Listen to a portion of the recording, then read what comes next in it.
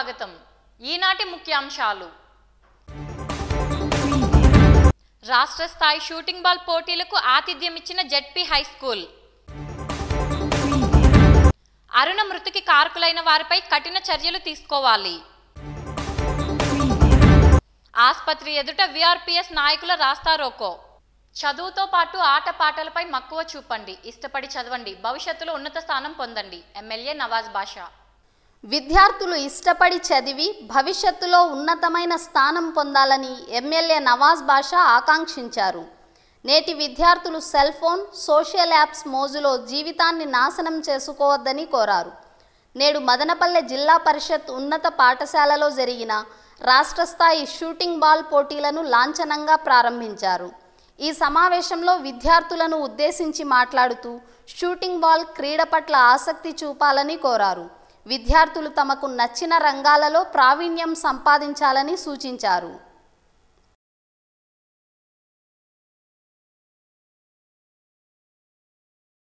నిజాయితీగా జరిగే ఈ గేమ్ను వారి ఒకవేళ రన్నర్స్ అయినా విన్నర్స్ అయినా ఎటువంటి బాధపడకుండా వాళ్ళు సంతోషంగా వెళ్ళాలని అదేవిధంగా ఇక్కడ ఎటువంటి అసౌకర్యాలు కలిగినా మా దృష్టికి తీసుకొస్తే వాటిని సానుకూలంగా మేము దాన్ని స్పందించి దాన్ని నివృత్తి చేస్తామని తెలియజేస్తూ అండర్ సిక్స్టీన్ మీకు రైట్ టైం ఇది రైట్ కమిట్మెంటు మీరు ఖచ్చితంగా అనేది మీరు అంత అదృష్టవంతులు. ఈరోజు మనందరికీ ఇలా ముఖ్యమంత్రి గారు జగన్మోహన్ రెడ్డి రావడము మీ అందరికీ పదహైదు వేల రూపాయలు అమ్మబడి కింద స్కూలుకు పోతే ఇవ్వడం అనేది చాలా గొప్ప గొప్ప మాట అది. కులాలు చూడలేదు మతాలు చూడలేదు. ప్రతి ఒక్కరికి నేనున్నానని చెప్పి జగనన్న ఒక వాదన తీశారు. ఆ వాదనే ఈరోజు నూట యాభై ఒక్క సీటు గెలవడం జరిగింది. మీ కుటుంబంలో మీ అక్కలు కానీ సారీ మీ చెల్లెళ్ళు కానీ మీ తమ్ముళ్ళు కానీ ఎవరు కూడా కానీ మీరు కూడా కానీ ఒక స్కూల్కి నా తల్లిదండ్రులు పంపిస్తే పదహైదు వేల రూపాయలు ఇస్తానని చెప్పిన ఘనత ఎవరన్నా ఉన్నారంటే ఒక జగన్మోహన్ రెడ్డి గారే. గత ముందు ప్రభుత్వాలు లేదు కూడా కానీ పిల్లలకు చదువుల పైన కానీ దేనిపైన కానీ దృష్టి పెట్టలేదు. జగన్మోహన్ రెడ్డి మూడు వేల ఆరు వందల నలభై ఎనిమిది కిలోమీటర్లు పాదయాత్ర చూసినప్పుడు అన్ని కులాలు మతాలు ఆయన నడిచిన తర్వాత ఆ పాదయాత్రలో చూసినప్పుడు ఆయన అందరూ నా ఐదు కోట్ల రాష్ట్ర ప్రజలు ఏం కష్టపడుతున్నారు వాళ్ళకు నేను ఏం చేయాలి చేసి ఏం నేను చేస్తే బాగుంటుందని చెప్పి ఆ తపన పడి తొమ్మిది నవరత్నాలు ప్రకటించారు. ఆ నవరత్నాల్లో మీ ఇది కూడా అమ్మఒడి పథకం అనేది ఒకటి. మీరందరూ చాలా అదృష్టవంతులు. ఈరోజు పదిహేను వేల రూపాయలు మీకు ఇస్తున్నాడంటే మీరు చాలా అదృష్టం చేసిన వాళ్ళు. మేము కూడా చదువుకున్నాము. మాకెవరు గవర్నమెంట్ నుంచి ఒక రూపాయి ఎవరు ఇవ్వలేదు. మీ అందరికి తెలిసిందే పై చదువులకు పోతే కూడా స్కాలర్షిప్లు ఇస్తున్నారు. ఆ స్కాలర్షిప్లు ఫస్ట్ మొదట ఆంధ్ర రాష్ట్రంలో మొదటగా తెచ్చింది దివంగత రాజశేఖర రెడ్డి గారే. ఈ ఈ రాష్ట్రంలో బీదోలకు రైతులకు కులాలకు మతాలకు అతీతంగా ఏదన్నా పార్టీ ఉన్నదంటే ఒకటి వైఎస్ఆర్ కాంగ్రెస్ పార్టీ అని మీరు తెలియజేసుకోవాలి. నేను రాజకీయం మాట్లాడడం లేదు. రాజకీయం మాట్లాడడం లేదు. జరిగింది ఖచ్చితంగా అయితే చెప్పగలుగుతాను. ఈరోజు ఏం జరుగుతోంది? యాభై రెండు నెలలు అయింది ప్రభుత్వం మనం వచ్చి ఈ రెండు నెలల్లోనే జగన్మోహన్ రెడ్డి ఎంత నీటి విజన్గా పోతున్నాడు ఎంత నీట్గా పరిపాలిస్తున్నాడు ఎంత నీటుగా మన రాష్ట్రం ముందుకు పోవాలని చెప్పి తపన పడుతున్నారు. మీరు అందరు తెలిసిందే. మీరందరూ చదువుకుంటున్నారు. మీరు అందరు అంతా సిక్స్టీన్ అంటే టెన్త్ క్లాస్ చదువుతుంటారో లేకపోతే ప్లస్ వన్ చదువుతుంటారో మీరందరూ రాబోయే కాలానికి కాబోయే ఉత్సాహవంతులు మీరే మీకు లైఫ్లో కమిట్మెంట్ ఒకటి ఉండాలి ఒక గోల్ ఉండాలి. నాకు చాలా సంతోషము. ఈ మధ్యకాలంలో అందరూ సోషల్ మీడియాల పైన వాట్సాప్ల పైన ఫేస్ ఫేస్బుక్ల పైన ఎక్కువ టైం స్పెండ్ చేస్తున్నారు. ఈరోజు విద్యార్థులు ఈ మాదిరిగా గేమ్స్లో పాల్గొనడం చాలా సంతోషం. ఎక్కువ మహిళలు కనబడుతున్నారు. చాలా సంతోషం అది కూడా. మా రాష్ట్ర మా చిత్తూరు జిల్లా మదనపల్లికి వచ్చి మీరు ఈ షూటింగ్ బాల్ ఆడడం నాకు చాలా సంతోషము. అరుణ మృతికి కారకులైన వారిపై కఠిన చర్యలు తీసుకోవాలి.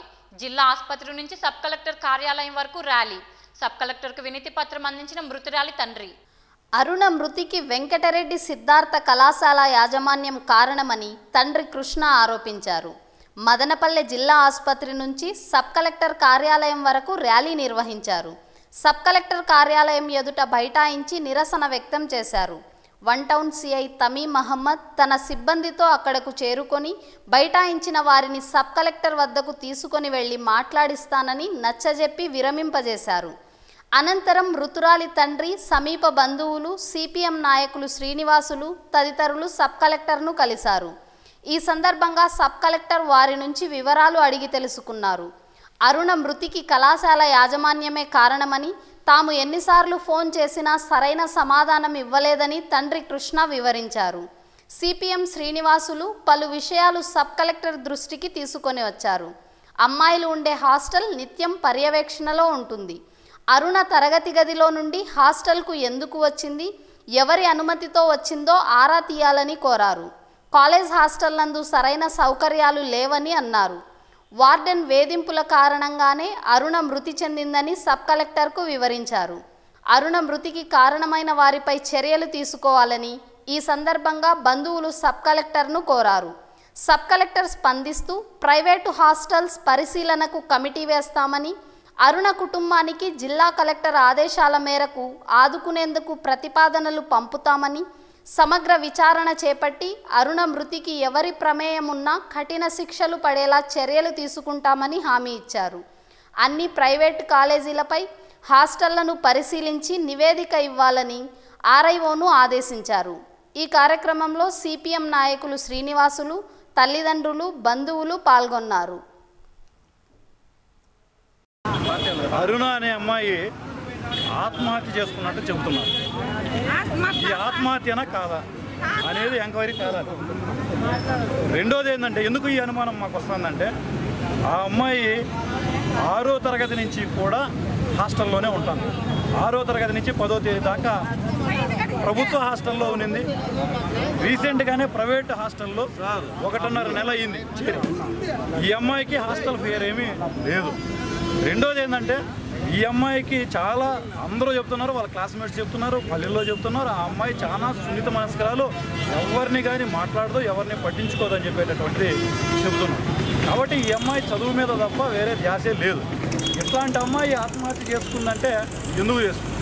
మాకు మేము అక్కడ కాలేజీ పోయి ఆ విద్యార్థుల్ని అవన్నీ విచారం చేసిన తర్వాత మాకు అర్థమైంది ఏంటంటే అక్కడ సిఈసి హాస్టల్కి ఇటీవలనే డిగ్రీ పూర్తి చేసుకున్నటువంటి జయప్రకాష్ అనే అతను జేపీ అంట ఆయన. అతన్ని వార్డెన్గా పెట్టారు. ఇతను ఈ అమ్మాయిని వేధిస్తున్నాడు. మొన్న వాళ్ళ బంధువుల అబ్బాయితో మాట్లాడుతుందనేటటువంటి ఉద్దేశంతో ఎందుకు నువ్వు అట్లా మాట్లాడుతున్నావని ఆ అమ్మాయి ఏదో వేరే కార్యక్రమాలు చేస్తుందనే పద్ధతుల్లో వేధించడం మొదలుపెట్టాడు. వేధించడం కాకుండా ప్రిన్సిపల్కి కంప్లైంట్ పెట్టి ప్రిన్సిపల్ కూడా ఆ అమ్మాయిని కనీసం వాళ్ళ తల్లిదండ్రులను విచారించకుండా వాళ్ళ తల్లిదండ్రులకు చెప్పి వాళ్ళ మధ్య కౌన్సిలింగ్ ఇవ్వకుండా ఆ అమ్మాయిని వేధించడం అనేటటువంటిది చేశారు. అంతేకాకుండా నిన్న నాలుగు గంటల దాకానే కాలేజీలో ఉన్న అమ్మాయి క్లాసుల్లో ఉన్న అమ్మాయి వాళ్ళ అమ్మమ్మ ఇంటికి పోవాలనే ఉద్దేశంతో పర్మిషన్ తీసుకొని నాలుగు గంటలకి హాస్టల్కి వచ్చింది. ఆ హాస్టల్లో ఏం జరిగిందనేటటువంటి విషయాల్ని బహిర్గతం చేయకుండా సూసైడ్ చేసుకుందని చెప్పేసే పద్ధతుల్లో ఈరోజు వ్యవహరిస్తున్నారు. వాళ్ళ అమ్మమ్మ ఇంటికి అమ్మాయి వస్తుందని చెప్పి వాళ్ళ తల్లిదండ్రులకు తెలిసి బెంగళూరులో ఉన్నటువంటి వాళ్ళు సుమారుగా యాభై అరవై సార్లు అక్కడ ఉన్నటువంటి వార్డెన్కి కాలేజీకి ఫోన్లు చేస్తే చాలా నిర్లక్ష్యంగా స్పందించకుండా వ్యవహరించినటువంటి అధికారుల తీరును మనం చాలా అనుమానాలకే భావిస్తుంది. అందుకనే మేము సిపిఎం పార్టీ తరఫున కోరుతున్నది ఏంటంటే ఇన్ని అవకాశాలకు తావిచ్చినటువంటి జయప్రకాష్ని అదేవిధంగా ప్రిన్సిపల్ని వెంటనే అరెస్ట్ చేయాలని చెప్పి డిమాండ్ చేస్తాను. దాంతోపాటు ఎంతో ఉజ్వల భవిష్యత్తు ఉన్నటువంటి ఒక అమ్మాయి చనిపోయినటువంటి అరుణ కుటుంబాన్ని ఆదుకోవడానికి ప్రభుత్వం వెంటనే ఇరవై ఐదు లక్షల ఎక్స్క్రేషియా ప్రకటించాలి. దాంతోపాటు అరుణ కుటుంబానికి ఒక ప్రభుత్వ ఉద్యోగం ఇవ్వాలి. నాలుగవది ఈ ప్రైవేట్ కళాశాలల మీద ప్రభుత్వ పరిశీలన పర్యవేక్షణ పూర్తిగా లోపించింది. ఆర్ఐఓ గారు తిరుపతిలో కూర్చొని కమిషన్లు తీసుకొని ఉంటున్నారు తప్ప ఈ ప్రైవేట్ కాలేజీలు వాటి వ్యవహారం తీరు కనీసం పరిశీలించే పరిస్థితి కూడా ఎక్కడ కనపడడం లేదు. అందుకనే ప్రభుత్వం సబ్ కలెక్టర్ గారు చొరవ చేసి ఈ అన్ని జూనియర్ కళాశాలల మీద పర్యవేక్షణ పెంచాలి. దాంతోపాటుగా ఈరోజు హాస్టల్స్లో లక్షల రూపాయలు ఫీజులు తీసుకుంటున్నటువంటి హాస్టల్ హాస్టల్ సౌకర్యాలు చాలా అన్యాయంగా ఉన్నాయి. ఎవరు పోతున్నారో ఎవరు వస్తున్నారో తెలియనటువంటి పరిస్థితి ఉంది. అందుకని ప్రతి హాస్టల్స్లోనూ పోలీస్ పర్యవేక్షణలో తీసుకురావాలని చెప్పి మేము డిమాండ్ చేస్తున్నాం. నిన్న అరుణ అనే అమ్మాయి హాస్టల్లో ఊరేసుకుందంటే నిజంగా బాధాకరం. అదేవిధంగా ఈ అరుణ అనే అమ్మాయి వాల్మీకి చెంది వాల్మీకి పోయే కాబట్టి ఖచ్చితంగా చెప్తున్నాం. ఆ అమ్మాయికి అరుణ వాళ్ళ కుటుంబానికి న్యాయం ఖచ్చితంగా జరగాలి. లేని పక్షంలో దాదాపు జిల్లానే కాదు రాష్ట్ర లెవెల్లో కూడా దీన్ని ఉద్యమం చేస్తాం. చేసే కాక వాళ్ళకి న్యాయం జరిగేంత వరకు ఈ పోరాటం ఆపమని తెలియజేస్తాం అదేవిధంగా ఈ కాలేజీలో ఉన్న ప్రిన్సిపల్ అయితే ఏమి వార్డెన్ అయితే ఏమి ప్రతి ఒక్కరిని కూడా అరెస్ట్ చేయాలి. అదేవిధంగా మన ఆర్డీఓ గారు అయితే కాలేజీ బి వాళ్ళు ఏం పలకరించాడు కానీ హాస్పిటల్లోకి వచ్చి ఒక ఆడబిడ్డ ఊరేసుకొని చనిపోతే వచ్చి వాళ్ళని పెద్దల్ని వాళ్ళని మాట్లాడితే ఇది లేకుండా పోయింది. ఎందుకంటే ఇది కూడా ఈ- ఈ మీడియా కూడా చెప్తున్నాము. ఎందుకంటే మీరు కూడా మాకు ఈ కుటుంబానికి మీరు కూడా సాయం చేయాలని చెప్పి కోరుతున్నాను. అదేవిధంగా ఈ అరుణ కుటుంబాన్ని ఆ అమ్మాయి ఊరి వేసుకున్న చనిపోయిన ఏ విధంగా చనిపోయింది కూడా అవన్నీ మాకు బయటకు రావాలి. రాని పక్షంలో ఖచ్చితంగా ఈ ప్రిన్సిపాల్ మీదే ఆధారపడి ఉంటుంది. ఆ కాలేజ్ కూడా జిల్లా వ్యాప్తంగా కూడా విద్యార్థులు లేదేమి వాల్మీకి లేదేమి బీసీ లేదేమి ఎస్సీ లేదేమి మైనార్టీ లేదేమి ప్రతి ఒక్కరూ కలుసుకొని ఆ కాలేజీ లేకుండా చేయడానికి మేము సిద్ధంగా ఉన్నామని చెప్పి ఈ సందర్భంగా తెలుసుకుంటాను ఎందుకంటే ఆ అరుణ అమ్మాయి కుటుంబానికి ఈ కలెక్టర్ గారు కానీ ఇప్పుడు కానీ మాకు స్పందించకపోతే మళ్ళీ ఇది కొనసాగుతుందని చెప్పి ఈ విధంగా తెలియజేస్తూ వాల్మీకులు ప్రతి ఒక్క చోటున రాష్ట్రంలో ఉన్న కూడా ఈ ఉద్యమాన్ని తెచ్చిపోతామని చెప్పి తెలియజేస్తున్నాం. మాకు నేను ఫోన్ చేస్తే నాకు ఫోన్ చేసి నేను ఫోన్ చేస్తే మాకు ఫోనే పందించలేదు ఫోనే పందించలేదు ఏమి చెప్పలేదు. ఇది ఎట్లా తెలిసిందండి వాళ్ళు వాటర్ను ఫోన్ చేసి పదహైదు సార్లు ఫోన్ చేస్తే అప్పుడు ఫోన్ ఏరో వాళ్ళకి అప్పుడు మీ పాప ఉర్రేసుకునేసింది అని చెప్పినాడు. మేము వచ్చి మేము వచ్చే ఉందికి వాటను అని వేరే వాడు మాట్లాడినాడు. వాడు మల్లికార్జున వాటను మాట్లాడలేదు. వాడు అడిగితే మీ పాప సీరియస్ అయిపోయింది. కేర్లెస్ చాలా కేర్లెస్ పదకొండు సార్లు ఫోన్ చేశారు. పదకొండు సార్లు ఫోన్ చేశాను. అరుణ మృతికి బాధ్యులపై కఠిన చర్యలు తీసుకోవాలి. వెంకటరెడ్డి సిద్ధార్థ జూనియర్ కళాశాల ప్రిన్సిపల్ను అరెస్ట్ చేయాలి. జిల్లా ఆసుపత్రిలో మృతురాలి బంధువులు సిపిఎం విఆర్పిఎస్ రాస్తారోకో. ఆత్మహత్య చేసుకున్న విద్యార్థిని పొజిషన్ను పోలీసులు వచ్చి చూసేంత వరకు ఆగకుండా దింపేసిన సిబ్బంది సాక్ష్యాలు తారుమారు చేయడానికేనని స్పష్టం చేశారు. హాస్టల్లో ఉన్న రూము ఒకటి అయితే ఇంకో రూములో ఆత్మహత్య చేసుకున్నట్టు చెబుతున్నారని ఓణితో ఉరివేసుకున్నదని చెబుతున్నారని సగమే ఉన్నదని మిగిలిన ఓణి ఏమైందనే అనుమానం వ్యక్తం చేశారు. అమ్మాయిలు హాస్టల్ నిత్యం పర్యవేక్షణలో ఉంటుంది. అరుణ తరగతి గదిలో నుండి హాస్టల్కు వచ్చింది అంటే ఎందుకు ఎవరు అనుమతిచ్చారని ప్రశ్నించారు. ఆత్మహత్యను పక్కదోవ పట్టించి వివరాలు వెల్లడించడాన్ని ప్రిన్సిపల్ను హాస్టల్ వార్డెన్ను వెంటనే అరెస్టు చేయాలని వాచ్మెన్ను అరెస్టు చేయాలని డిమాండ్ చేశారు. అరుణ మృతికి కారణమైన వారిపై కఠిన చర్యలు తీసుకోవాలని డిమాండ్ చేశారు. ఏడో ఏడో వాడు టార్చర్ పెట్టినాడు. వారి మీద చర్య తీసుకోవాలి. ప్రిన్సిపాల్ మీద చర్య తీసుకోవాలి. అసలు మా బిడ్డ మాకు నేను కాదు ప్రిన్సిపాల్ ఫోన్ చేస్తే స్పందించలేదు. వాళ్ళ మీద కఠినంగా కఠినమైన చర్య తీసుకోవాలి. మా కుటుంబానికి ఆదుకోవాలి. మాకు న్యాయం జరగాలి. అదే మా కోరిక మా న్యాయము. మాకు నేను ఫోన్ చేస్తే నాకు ఫోన్ చేసి నేను ఫోన్ చేస్తే మాకు ఫోనే పనిచేయలేదు ఫోనే పనిచేయలేదు ఏమి చెప్పలేదు. ఇది ఎట్లా తెలిసిందండి వాళ్ళు వాటర్ను ఫోన్ చేసి పదహైదు సార్లు ఫోన్ చేస్తే అప్పుడు ఫోన్ ఏరో వాళ్ళకి అప్పుడు మీ పాప ఉర్రేసుకునేసింది అని చెప్పినాడు. వాడు- మేము వచ్చి మేము వచ్చే ఉందికి వాటను వేరే వాడు మాట్లాడినాడు. వాడు మల్లికార్జున వాటను మాట్లాడలేదు. వాళ్ళు అడిగితే మీ పాప సీరియస్ అయిపోయింది.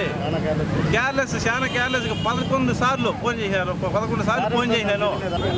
నిన్న అరుణ అనే అమ్మాయి హాస్టల్లో ఊరేసుకుందంటే నిజంగా బాధాకరం. అదేవిధంగా ఈ అరుణ అనే అమ్మాయి వాల్మీకి చెంది వాల్మీకి పోయే కాబట్టి ఖచ్చితంగా చెప్తున్నాం. ఆ అమ్మాయికి అరుణ వాళ్ళ కుటుంబానికి న్యాయం ఖచ్చితంగా జరగాలి. లేని పక్షంలో దాదాపు జిల్లానే కాదు రాష్ట్ర లెవెల్లో కూడా దీన్ని ఉద్యమం చేస్తాం. చేసే కాక వాళ్ళకి న్యాయం జరిగేంత వరకు ఈ పోరాటం ఆపమని తెలియజేస్తాం అదేవిధంగా ఈ కాలేజీలో ఉన్న ప్రిన్సిపల్ అయితే ఏమి వార్డెన్ అయితే ఏమి ప్రతి ఒక్కరిని కూడా అరెస్ట్ చేయాలి. అదేవిధంగా మన ఆర్డీఓ గారు అయితే కాలేజీ బి వాళ్ళు ఏం పలకరించాడు కానీ హాస్పిటల్లోకి వచ్చి ఒక ఆడబిడ్డ ఊరేసుకొని చనిపోతే వచ్చి వాళ్ళని పెద్దల్ని వాళ్ళని మాట్లాడితే ఇది లేకుండా పోయింది. అన్ని సంఘాల తరపున వచ్చి మేము నిరసన తెలియజేస్తున్నాము. మేము ఐదువా నుంచి మహిళా సంఘం నుంచి మాట్లాడుతున్నాము. ఇలాంటి పునరావృతం కాకుండా ప్రభుత్వం వచ్చి చర్యలు తీసుకొని ఆ కాలేజ్ యాజమాన్యాన్ని వచ్చి అరెస్ట్ చేయాలని అలాగే అతను జయప్రకాష్ అని వార్డన్ని ఒక హాస్టల్లో ఒక లేడీ అంటే మహిళలు ఉండే దీంట్లో ఒక లే- బాయిని ఎత్తుకొచ్చి పెట్టడం అనేది చాలా వరకు తప్పది. అమ్మాయిని అమ్మాయిలు ఉన్న చోట అమ్మాయిలనే పెట్టాలి అబ్బాయిలు పెట్టడం ఏంటని మేము ప్రశ్నిస్తున్నాం మా సంఘం తరఫున అదేవిధంగా ఈ కుటుంబాన్ని ఆదుకోవాలని ప్ర- ఆ సంఘం మా సంఘం తరపున మేము డిమాండ్ చేస్తున్నాము. ఆ తల్లి కడుపు ఎంత కాలుతున్నది అనేది తల్లి అంటే తల్లి కడుపు తల్లికి తెలుస్తుందనమాట ఆ విషయం అనేది. ఆమె ఆమె బాధ చూస్తుంటే మాకే అసలు కళ్ళల్లో నీళ్ళు వస్తున్నాయి. ఇలాంటిది ఎక్కడ మళ్ళీ జరగకుండా ఉండే విధంగా మేము మా సంఘం తరపున మేము ఏదన్నా కానీ పోరాటానికి పోరాటానికి మేము ముందుకు వస్తామని ఐదవ సంఘం తరపున మహిళా మహిళా సంఘం తరపున మేము తెలియజేస్తాం ఇప్పుడు కాసేపు ప్రకటనలు. Dhanalakshmi wholesale shopping mall mega sari Ashadham bumper sale. నగరాలకు ధీటుగా మన మదనపల్లి పట్టణంలో అతిపెద్ద wholesale shopping mall Dhanalakshmi shopping mall వారు అందిస్తున్న ఆషాఢం కానుక. One plus one mega sari Ashadham bumper sale. July ఒకటవ తేదీ రెండు వేల పంతొమ్మిది నుండి గొప్ప ప్రారంభం. ఏదైనా ఒక చీర కొనండి అదే విలువ గల మరొక చీర ఉచితంగా పొందండి. రెండు వందల యాభై రూపాయల విలువ గల లైక్రా సారీ ఒకటి కొంటే ఒకటి ఉచితం. మూడు వందల యాభై రూపాయల విలువ గల పూనం జార్జెట్ సారీ ఒకటి కొంటే ఒకటి ఉచితం. నాలుగు వందల విలువ గల షిఫాన్ జార్జెట్ సారీ ఒకటి కొంటే ఒకటి ఉచితం. నాలుగు వందల విలువ గల ఇక్కత్ సిల్క్ శారీ ఒకటి కొంటే ఒకటి ఉచితం. నాలుగు వందల యాభై విలువ గల టర్కీ సిల్క్ శారీ ఒకటి కొంటే ఒకటి ఉచితం. ఐదు వందల విలువ గల అరవై గ్రాముల సిల్క్ శారీ ఒకటి కొంటే ఒకటి ఉచితం. ఐదు వందల విలువ గల చైనా సిల్క్ శారీ ఒకటి కొంటే ఒకటి ఉచితం. ఐదు వందల విలువ గల మార్బుల్ శారీ ఒకటి కొంటే ఒకటి ఉచితం. ఐదు వందల విలువ గల హౌస్ షిఫాన్ సారీ ఒకటి కొంటే ఒకటి ఉచితం. ఐదు వందల విలువ గల లెనిన్ సారీ ఒకటి కొంటే ఒకటి ఉచితం. ఏడు వందల విలువ గల ఫ్యాన్సీ సారీ ఒకటి కొంటే ఒకటి ఉచితం. ఎనిమిది వందల విలువ గల బెనారస్ సారీ ఒకటి కొంటే ఒకటి ఉచితం. పదిహేను వందల విలువ గల బెనారస్ పట్టు సారీ ఒకటి కొంటే ఒకటి ఉచితం. ప్రత్యేక కౌంటర్లలో అన్ని రకాల చీరలు వన్ ప్లస్ వన్ ఆఫర్తో లభించును. అంతేకాకుండా మా వద్ద కంచి ధర్మవరం గద్వాల్ పోచంపల్లి ఉప్పాడ కుప్పడం వెంకటగిరి ఇక్కత్ సీకో సూరత్ మరియు అన్ని రకముల ప్రముఖ ఫ్యాన్సీ మరియు బ్రాండెడ్ చీరలు లభించును. నాణ్యతకు మన్నికకు రాజీ లేదు. వస్త్ర ప్రపంచంలో మాకు పోటీనే లేదు. త్వరపడండి. ఈ అవకాశం కొద్ది రోజులు మాత్రమే. Dhanalakshmi wholesale shopping mall. తూర్పు Kothapeta Madanapalle. Phone zero eight five seven one double two zero six zero six. ఘనంగా రెండవ రాష్ట్ర స్థాయి షూటింగ్ బాల్ ఛాంపియన్షిప్ పోటీలు. అండర్ సిక్స్టీన్ సబ్ జూనియర్స్ బాలబాలికల మధ్య పోటాపోటీగా మ్యాచ్లు. మదనపల్లె జిల్లా పరిషత్ ఉన్నత పాఠశాలలో రెండవ రాష్ట్ర స్థాయి shooting ball under sixteens sub juniors బాల బాలికల జట్ల మధ్య పోటాపోటీగా మ్యాచ్లు జరిగాయి. రాష్ట్ర స్థాయిలో జరుగుతున్న ఈ పోటీలలో పెద్ద సంఖ్యలో విద్యార్థులు పాల్గొన్నారు. ఈ సందర్భంగా విద్యార్థుల ప్రతిభను గుర్తించడానికి పోటీలను నిర్వహించారు. ఆటలో మెలకువలు నేర్పించారు. చక్కని ఆట తీరు కనబరిచిన వారిని ప్రోత్సహించారు. Under sixteen shooting ball games కోసం పన్నెండు జిల్లాలు ఆంధ్ర రాష్ట్రంలోని పదమూడు జిల్లాల్లో పన్నెండు జిల్లాలు ఒక తూర్పుగోదావరి తప్ప ఇక్కడికి వచ్చిన క్రీడాకారులందరికీ మరియు వారితో పాటు వచ్చిన పీఈటీ మాస్టర్స్ అందరికీ కూడా స్వాగత సుమాంజలు తెలియజేసుకుంటున్నాము. చిత్తూరు జిల్లా షూటింగ్ బాల్ అసోసియేషన్ తరపున. ఈరోజు మన సాయి చెప్పినట్లు నవాజ్ బాషా గారు ఎంత బిజీ షెడ్యూల్ ఉన్నా కూడా మన కోసం మా ఎమ్మెల్యే గారు మన కోసం సమయం కేటాయించి ఇక్కడికి వచ్చారు. ఎందుకంటే యువకులు ఈ స్పోర్ట్స్ గేమ్స్ మీద మంచి అవగాహన ఉన్న వ్యక్తి. అలాగే ఇప్పుడు మనము మన రాష్ట్ర ముఖ్యమంత్రికి కూడా యువకుడు మన రాష్ట్రాన్ని అన్ని వైపుల నుంచి కూడా ముందుకు పరిగెత్తించాలని క్షణక్షణము అహర్నిశలు పనిచేస్తున్న మన జగన్మోహన్ రెడ్డి గారిని ఆదర్శంగా తీసుకొని మనము ఇలాంటి స్పోర్ట్స్ అండ్ గేమ్స్లో మనకు వచ్చే ప్రతి అవకాశాన్ని కూడా మీరందరూ కూడా సద్వినియోగం పరచుకోవాలి. ఎందుకంటే షూటింగ్ బాల్ అనే గేము ముప్పై ఆరు నుంచి ఉన్నా కూడా పెద్దగా ప్రాచుర్యం లేదు. ఈ మధ్య గత నాలుగైదు సంవత్సరాలుగానే మన ఆంధ్ర రాష్ట్రంలో అన్ని జిల్లాలకు వ్యాపించి ఇప్పుడు మన ముందుకు వచ్చింది ఇది. పోయిన సంవత్సరమే చిత్తూరు జిల్లాలో షూటింగ్ బాల్ అసోసియేషన్ స్టార్ట్ చేయడం జరిగింది. దానికి మొట్టమొదటి ఫౌండర్ ప్రెసిడెంట్గా నాకు ఆ గౌరవం దక్కడం కూడా అదృష్టంగా భావిస్తున్నాను. అలాగే గత సంవత్సరం అండర్ నైన్టీన్ గేమ్స్లో మొట్టమొదటిసారి మన ఆంధ్ర రాష్ట్ర ఛాంపియన్షిప్లో చిత్తూరు జిల్లా ప్రతిభ చాటుకుంటూ అమ్మాయిల కేటగిరీలో విన్నర్స్గాను అబ్బాయిల కేటగిరీలో రన్నర్స్గాను నిలిచి నిజంగా రాష్ట్రంలోనే మన చిత్తూరు జిల్లాకు పెద్ద గుర్తింపు తీసుకొచ్చిన క్రీడ ఇది. అలాగే ఇప్పుడు ఇక్కడికి వచ్చిన పన్నెండు జిల్లాల క్రీడాకారులు క్రీడాకారులు కానీ అందరూ కూడా ఈ గేమ్ని మన రెడ్డన్న సార్ చెప్పినట్లు నీతి నిజాయితీలతో ఎందుకంటే గేమ్స్లో రూల్స్ చాలా ఇంపార్టెంట్ గెలవడం ఇంపార్టెంట్ కాదు. మనము పద్ధతిగా ఆడుతున్నామా లేదా అనేది చాలా ఇంపార్టెంట్ ఎందుకంటే ఇప్పటికీ కూడా ప్రపంచంలో ఏ రోజైనా కూడా స్పోర్ట్స్ స్పిరిట్లో ఎవరినైనా ఉదాహరణగా చెప్పాలంటే కనుక పంతొమ్మిది వందల ముప్పై ఆరులో ఎప్పుడు హిట్లర్ జర్మనీని పాలిస్తున్న రోజులు అవి అప్పట్లో జెస్సీ ఓవెన్స్ అని అమెరికన్ క్రీడాకారుడు అలాగే లజ్లాంగ్ అని చెప్పేసి జర్మనీ క్రీడాకారుడు. అప్పట్లో హిట్లర్కి అసలు నీగ్రోలు అంటే అస్సలు పడదు ఆయనకి. ఫస్ట్ యూ యూదులు అంటే పడదు నీగ్రోలు అంటే పడదు. అటువంటి టైంలో కూడా ఒక నీగ్రోకి జర్మనీ క్రీడాకారుడైన లజ్లాంగ్ అని ఆయన రెండుసార్లు ఫౌల్ చేసి మూడోసారి కూడా ఫౌల్ చేస్తే ఆయన ఒలింపిక్స్లో పాల్గొనేదానికి అర్హతే ఉండదు. ఆయన చేస్తున్న తప్పు ఆయన గమనించుకోలేని పరిస్థితి. అటువంటి టైంలో ఆపోజిట్ కంట్రీ అయినా కూడా లజ్లాంగ్ ముందుకొచ్చి నువ్వు ఈ తప్పు చేస్తున్నావు ఈ తప్పు చేయకుండా నువ్వు కనుక కరెక్ట్ చేసుకున్నావు అంటే నువ్వు ఖచ్చితంగా గోల్డ్ మెడల్ సాధిస్తావని చెప్పాడు. వెంటనే ఆ తప్పు కరెక్షన్ చేసుకొని ఆయన క్వాలిఫై అయినాడు. క్వాలిఫై అయ్యి ఆ ఒలింపిక్స్లో ప్రపంచంలో అత్యధిక నంబర్ ఆఫ్ గోల్డ్ మెడల్ సాధించిన క్రీడాకారుడిగా ఈ రోజు కూడా జెస్సీ ఓవెన్స్కి ట్రాక్ రికార్డ్ ఉంది. Second state bit shooting ball ఇక్కడ మదనపల్లిలో జరపడం చాలా సంతోషంగా ఉంది. అదేవిధంగా మీ సెక్రటరీ గారు ఇప్పుడు చెప్పారు ఇట్లా స్కూల్ గేమ్స్ యాడ్ చేశారు చేశారు లిస్ట్లో ఉంది. వీళ్ళు కోరితే ఇక్కడ మదనపల్లిలో ఇదే షూటింగ్ బాల్ని స్టేట్ బిట్ని ఘనంగా కూడా చేస్తామని మేము కూడా జిల్లా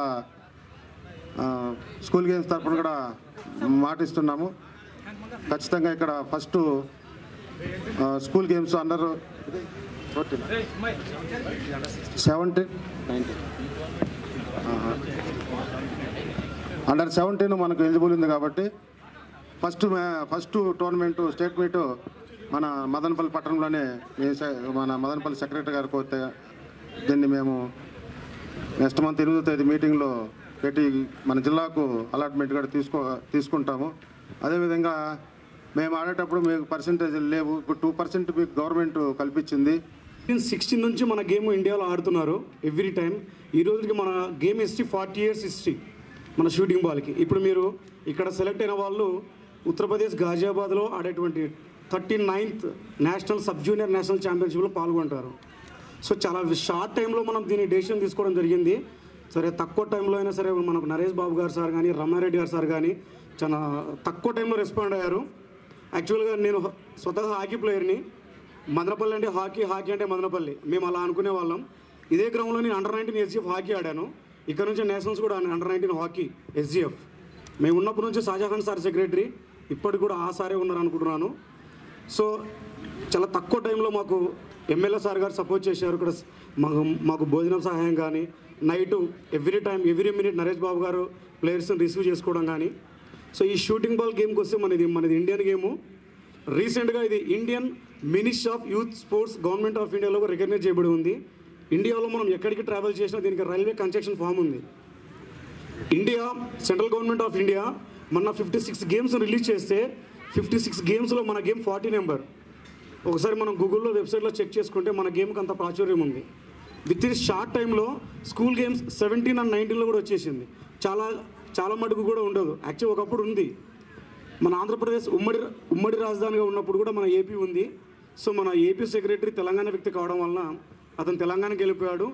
ఏపీ కొత్తగా ఫామ్ అయింది. మనకు అవకాశం వచ్చింది. సో లాస్ట్ టైం విజయవాడలో చేశాము. అప్పుడు చిత్తూరు జిల్లా is top girls and boys top Venkata Reddy Siddhartha కళాశాల హాస్టల్ని తనిఖీ చేసిన సబ్ కలెక్టర్ కీర్తి చేకూరి. అర్ణమృతి చెందిన గదిని పరిశీలన. మదనపల్లె పట్టణంలో శనివారం సాయంత్రం వెంకటరెడ్డి సిద్ధార్థ కళాశాల హాస్టల్ గదిలో ఆత్మహత్య చేసుకున్న అరుణ ఉన్న గదిని సబ్ కలెక్టర్ కీర్తి చేకూరి పరిశీలించారు.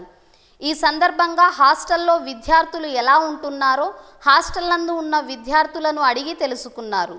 హాస్టల్ గదులన్నీ తిరిగి పరిశీలించారు. అరుణ మృతి చెందిన గదిని సంఘటన జరిగిన తీరును ప్రిన్సిపాల్ వెంకటరెడ్డిని అడిగి తెలుసుకున్నారు. అరుణ ఉంటున్న గదిని పరిశీలించారు. కార్మిక వ్యతిరేక బిల్లును ఉపసంహరించుకోవాలి. ఆగస్టు రెండున దేశవ్యాప్తంగా ఆందోళనలు. ఏఐటియుసి జిల్లా సహాయ కార్యదర్శి సాంబశివ.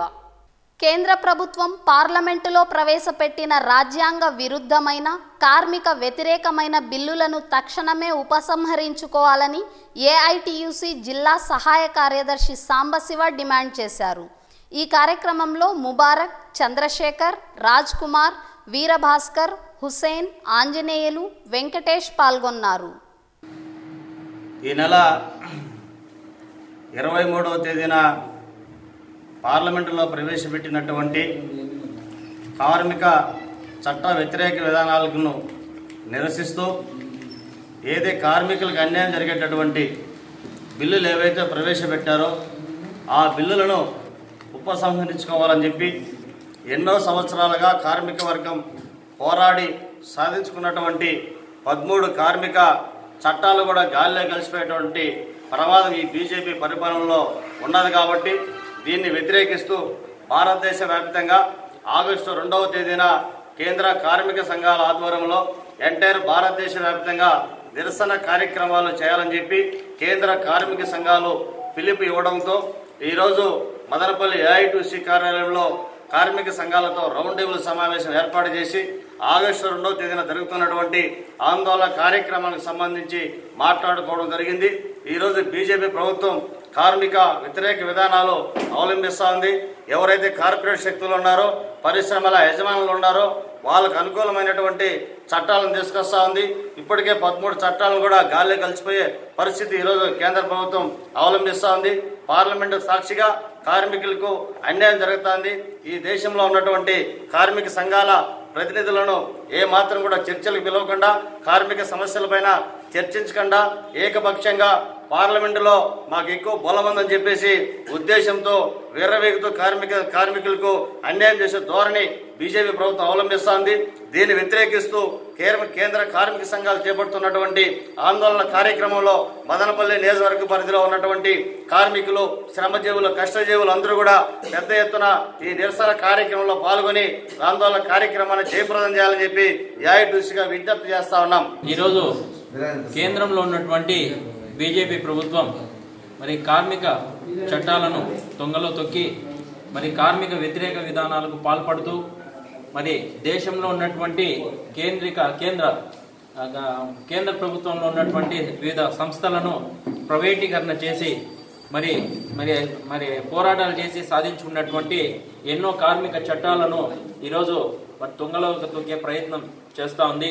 దీనిపైన ఎన్నోసార్లు ఏఐటిసిగా పోరాటాలు కూడా చేయడం కూడా జరిగింది. మరి ఇందులో భాగంగానే మరి ఈ నెల ఇరవై మూడవ తేదీన మరి కేంద్ర ప్రభుత్వం మరి బడ్జెట్లో ప్రవేశపెట్టినటువంటి ఈ బిల్లు కేంద్ర కేంద్ర కార్మిక శాఖ మంత్రి అయినటువంటి మరి ఆయన కేంద్ర మన కార్మికులకు సంబంధించి బిల్లు ప్రవేశపెట్టడం జరిగింది. ఇది పూర్తిగా కార్మికులకు వ్యతిరేకంగా కార్మిక చట్టాలకు వ్యతిరేకంగా ఉందని చెప్పి మేము ఏఐటిఎస్సీగా మరి ఈ ప్రభుత్వాన్ని డిమాండ్ చేస్తున్నాం. మరి ఇంకొక విషయం చూస్తే పదహైదున ఇండియన్ లేబర్ కాన్ఫరెన్స్ అంగీకరించిన వేతనాల లెక్కింపు విధానంపై కనీస వేతనాన్ని ఇరవై ఐదు పర్సెంట్ పెంచి ఇవ్వాలని చెప్పి సుప్రీంకోర్టు కూడా చాలా స్పష్టమైన ఆదేశాలు ఇచ్చింది. అయినా కూడా ఈ సుప్రీంకోర్టు ఆదేశాలను కూడా పట్టించుకోకుండా దీనిపైన ఒక కమిటీని వేసి మరి ఎవరైతే ఈ ప్రభుత్వం కమిటీని వేసిందో మరి ప్రజా సంఘాలను కార్మిక సంఘాలను మరి వారి సలహాలు తీసుకోకుండా ఏకపక్షంగా వ్యవహరించి వారి సూచనలు సలహాల మేరకు ఆగస్టు రెండవ తేదీన జరగబోతున్న ఈ కార్యక్రమాన్ని మరి కార్మికులందరూ కలిసి మరి కార్మిక సంఘాల్లో ఉన్నటువంటి నాయకులు అందరూ కలిసి జయప్రదం చేసి మన మన కేంద్రంలో ఉన్నటువంటి ఈ కేంద్ర ప్రభుత్వానికి మనం మన ద్వారా ఒక హెచ్చరిక జారీ చేయడం జరుగుతుందని చెప్పి ఈ ఈ సందర్భంగా మీరందరూ సహకరించాలని చెప్పి ఏఐటీసీగా మేము విజ్ఞప్తి చేస్తున్నాం. డిఎల్టీవీ న్యూస్ ఇంతటితో సమాప్తం. తిరిగి రేపటి వార్తల్లో కలుసుకుందాం.